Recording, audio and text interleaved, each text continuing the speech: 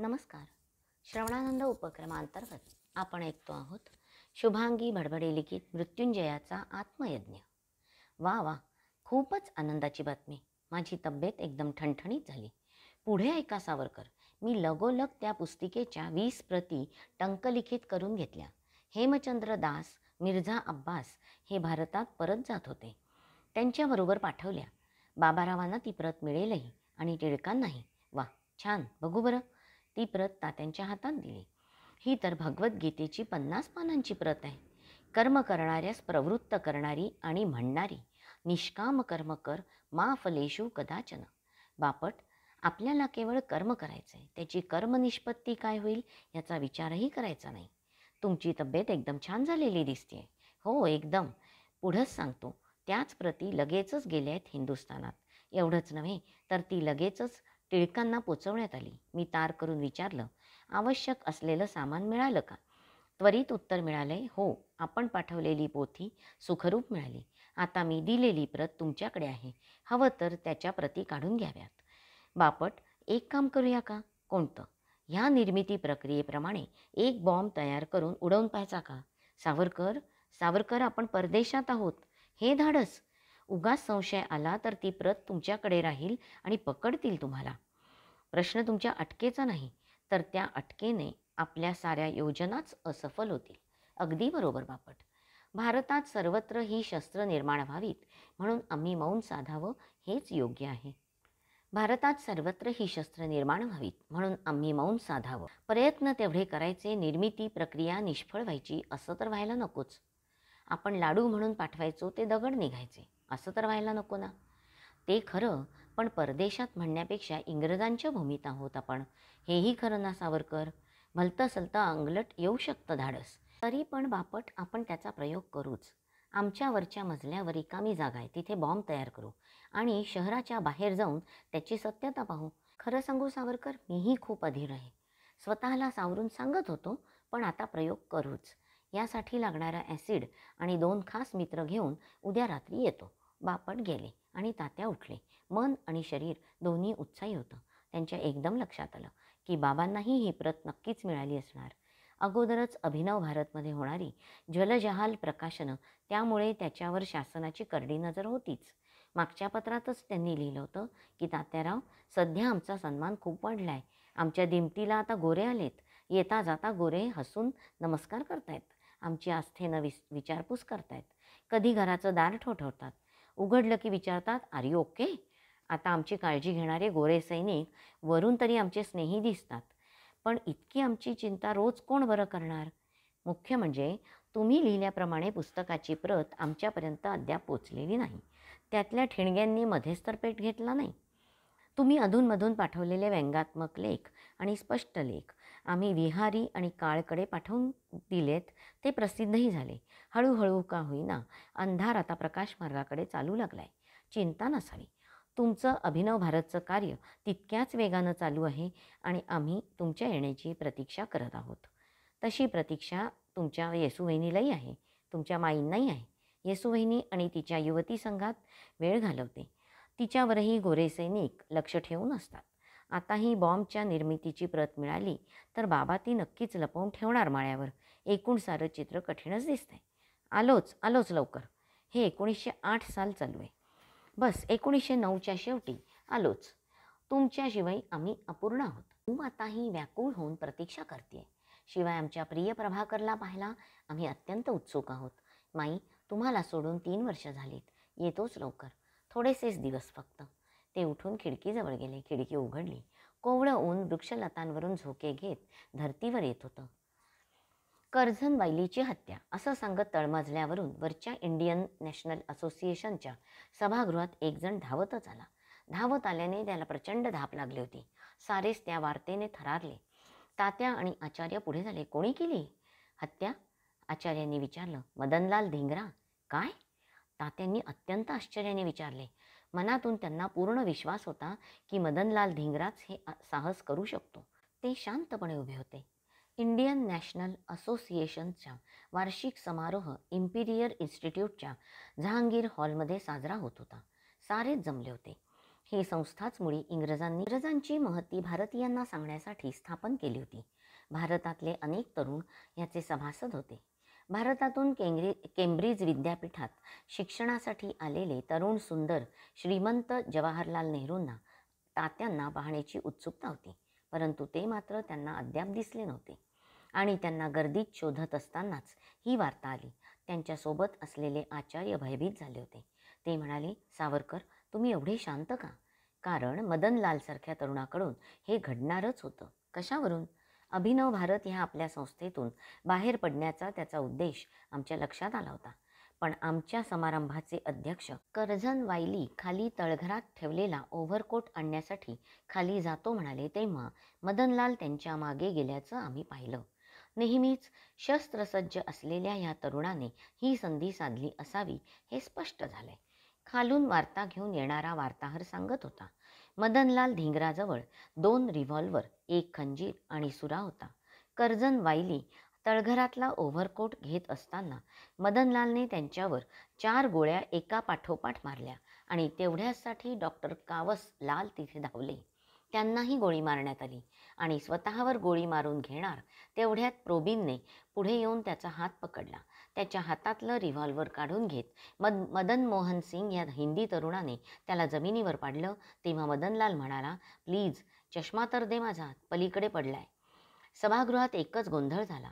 प्रत्येकाची मतं वेगळी होती. एक तरुण म्हणाला एकोणीस वर्ष हे काय वायलीला मारायचं मदनलालचं वय आहे? त्याने घोर अन्याय केलाय. त्याला फाशीच हवी. तात्यांना प्रचंड संताप आला त्या भारतीयाचा. परंतु त्यांनी तो आवरला.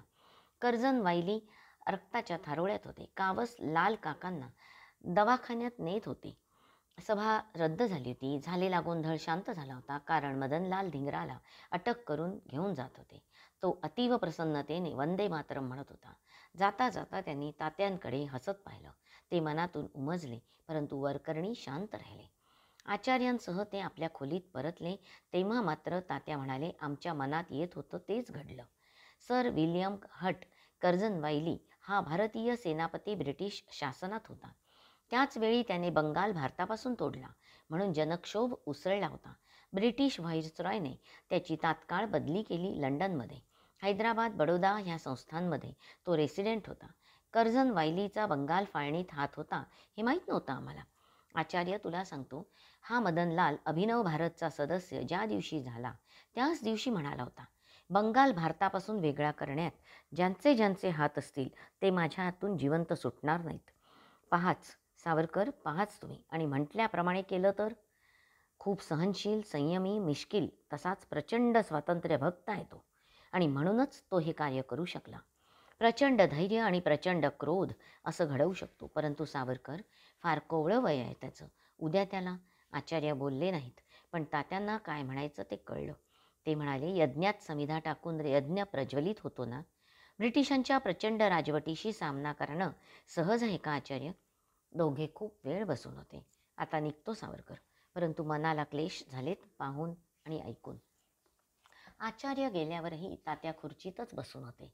स्वातंत्र्यासाठी यज्ञात किती समिधा टाकाव्या लागणार आहेत आणि किती वर्ष? केवळ नियतीत जाणे मनोमन म्हणाले. त्यांना आठवला मदनलाल एकोणीस वर्षाचा गोरा देखणा सुदृढ शरीर यष्टीचा पंजाबी तरुण. एक दिवस काही तरुणांबरोबर तो इंडिया हाऊसमध्ये आला होता. आप ही सावरकर हो त्याने विचारलं. का बरं? ना ना ना जी आप गलत मत समजी हमें लगा था बहुत तगडे होंगे आप. तात्या प्रसन्न हसत म्हणाले मुंगी लहान असते परंतु हत्तीच्या कानात गेली तर त्याची अस्वस्थता इतकी वाढते. तात्यांनी आपलं वाक्य अर्धवट सोडलं. मदनलाल हसला मनापासून. त्याचा हसरा लोभस चेहरा. क्षणभर ते पाहत राहिले. त्याचे श्रीकृष्णासारखे मिश्किल डोळे अधरावरचं हसू त्यांना आवडलं. कसा आलास मदनलाल? भारत भूमि के लिए जितना स्नेह आपको है उससे कई गुना हमें ज़्यादा है. इसीलिए मिलने चला आया बस. तो स्वतःच खुर्चीवर बसला. श्रीमंताचा हा मुलगा खरंच देशाभिमानी असेल का? अशी शंका तात्यारावांच्या मनात आली. तेवढ्यात कुणीतरी बोलताना म्हटलं की इंग्रज आणि जपान्यांच्या युद्धात सरशी झाली ती शूरवीर जपान्यांची तात्काळ ते खुर्चीवरून उठत तो म्हणाला हिंदुस्तान का इतिहास देखो? कितने शूरवीरों को जिक्र किया है उसमें? हिंदुस्तान में शूरवीरों की कमी नहीं है. इंग्रज बाईकडे पेंगेस्ट म्हणून राहत असलेला त्याला त्याच्याच इंग्रजाळलेल्या मित्राने विचारलं कैसे सिद्ध करोगे सि मदनलाल? कैसी होगी तुम्हारी परीक्षा?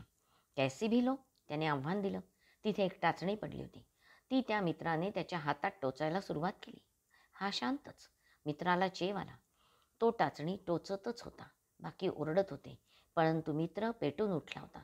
त्याने टाचणी इतक्या जोरात दाबली की ती आरपार गेली. मदनलाल हसतच होता. तात्यांना नवल वाटलं. रक्ताची धार ओघळताना शांत हसणारा हा तरुण निश्चितच स्वमताचा आणि स्वदेशाचा अभिमानी आहे. यात संदेह उरला नव्हता. अनेकदा तो एकटाच येऊ लागला. अनेक रात्री जागवून त्यांनी तात्यांकडून अनेक विद्यमान घटना समजून घेतल्या. तात्या म्हणाले मदनलाल काही लोक शस्त्राने लढतात काही शब्दांना शस्त्र करून तीव्र प्रहार करतात. यात महाराष्ट्रात लोकमान्य टिळक आहे. तुझी भेट होण्यापूर्वी त्यांच्या इंग्रजांविरुद्धच्या लेखामुळे इंग्रज सरकारने तेवीस जुलै एकोणीसशे आठला त्यांना अटक केली. निषेध सभा इंडिया हाऊसमध्ये घेतली तेव्हा नामदार गोपाळकृष्ण गोखले यांना आमंत्रित केलं होतं परंतु ते आले नाहीत. क्यों? कारण ते समाजवादी आहेत. राजनीती खेळताना अहिंसा मार्गावर त्यांना जायचं होतं. असली जहाल भाषा आणि शस्त्रक्रांती त्यांना रुचली नसावी. बंगाल आणि पंजाब जसा सळसळत्या रक्ताचा आहे तेवढा महाराष्ट्र नाही. आप स्वयं ज्वालामुखी हो. आपका परिवार भी आपके साथ है. और क्या चाहिए? आपने निषेध व्यक्त नहीं किया. हो मी बातमीपत्रात लिहिलं की महाराष्ट्राच्या विभूषणाला आर्य धर्माच्या अभिमानाला नीतिमत्तेच्या निपुणतेला स्वदेशी प्रीतीच्या उद्भवाला ह्या बाळ गंगाधर टिळकांना काळे पाणी. ब्रह्मदेशातल्या तुरुंगात पाठवणी केल्यापासून ज्याच्या हृदयात द्वेष आला नाही ज्याच्या मस्तकात भयंकर खळखळाट झाला नाही असा खऱ्या अंतःकरणाचा एकही हिंदू दुर्मिळच आहे. राष्ट्राचा प्रश्न येताच पक्षभेद विचारधारा विसरून ऐक्य प्रगट करण्याची ही वेळ ह्या ऐक्यवृत्तीला नामदार गोखले यांनी गालबोट लावले. बढिया, सावरकर, बढ़िया. आप जितना क्रांतिवीर बोलते हो, उससे अधिक आपकी लेखनी चलती है और अधिक बोलती है. मदनलाल एक दिवस येऊन म्हणाला, सावरकर, मैं अभिनव भारत छोड़कर जा रहा हूँ. तात्या म्हणाले असं का अचानक? कुछ गल नहीं है. मैं इसलिए इंडियन नेशनल में जाना चाहता हूँ कि उनका हाल मुझे पता चले, उनकी चाल मैं समझ सकूँ. लेकिन आप यह किसी को बताना नहीं। मैं तुम्हें यह बताना चाहता हूँ कि समय आने पर स्वयं को सिद्ध कर दूंगा और मैं आपके साथ ही। हूँ आणि तो गेला होता भेटी कमी झाल्या होत्या। त्याचा तो मिस्किल हसणारा चेहरा त्यांना आठवत होता। आज संधी येताच त्याने कर्जन वायलीला बंगालची फाळणी केली म्हणून अलगट टिपलं होतं सार्जंट पकडून गेले ते कर्जन वायलीच्या हत्येबद्दल त्याला फाशीही होणारच होती. ते मनातून व्याकुळ झाले. काहीच महिन्यांपासून परिचय झालेल्या या मदनला मदनलालने त्यांच्या मनात आपुलकीचं स्थान निर्माण केलं होतं. त्याला इंग्रजी संगीत आवडत होतं. नृत्य आणि संगीत ह्यात त्याला आवड होती. राहायचाही दिमागदार कोटावर गुलाबाची फुलं लावून ऐटीत फिरायचा. निर्भय होता. तात्या खुर्चीवरून उठले कपडे बदलून बिना बिछाण्यावर झोपले. परंतु त्यांना काहीच करावंसं वाटेना. एकदम त्यांना आपला मुलगा प्रभाकर आठवला. आपण विवाह केला आहे तो आपल्या क्रांतिकारी विचार आणि पुढच्या पिढीत जावे म्हणून एवढ्या ब्रिटिश साम्राज्याला पराजित करणं कितीही म्हटलं तरी सहज सोपं कार्य नाही. प्रभाकरने अशा कोवळ्या वयात इतका तीव्र संताप प्रगट करून मदनलालसारखं कोठडीत जाण्यापेक्षा संघटन करूनच एक भाग तरी आपल्याला जिंकता यावा हे सामर्थ्य ठेवायला हवं. मी वृषाली केळकर आजच्या वचनाचा येथे समारोप करते. हरिओम तत्सत श्रीकृष्णार्पण वस्तू